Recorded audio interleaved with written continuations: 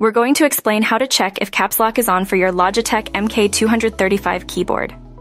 There are a few ways to do this, and we'll cover them all. 1. The most straightforward method is to look for the caps lock indicator light. Your Logitech MK235 keyboard has a small LED light usually located on the top right corner of the keyboard, near the caps lock key itself. When the caps lock is activated, this light will illuminate, typically glowing steadily. If the light is on, caps lock is enabled. If it's off, caps lock is disabled. 2. If for some reason the LED light isn't working, or you can't see it clearly, you can type some text and observe the output. Try typing a sentence. If the letters appear as capital letters, then caps lock is on.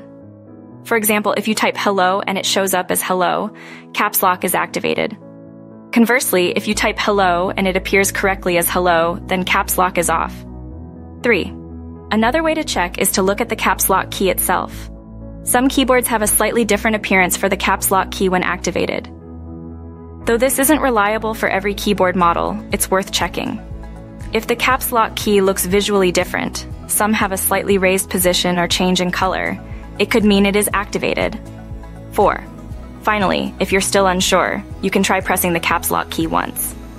This will toggle the caps lock on or off. If it was off, it will turn on and the indicator light will illuminate, if functional. If it was already on, pressing it will turn it off and the light will go out, if functional.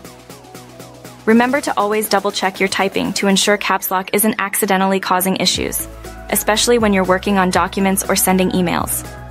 If you're still experiencing difficulties with your keyboard's indicator light, then consult the Logitech support website or contact their customer service for assistance in troubleshooting any problems or potential repairs.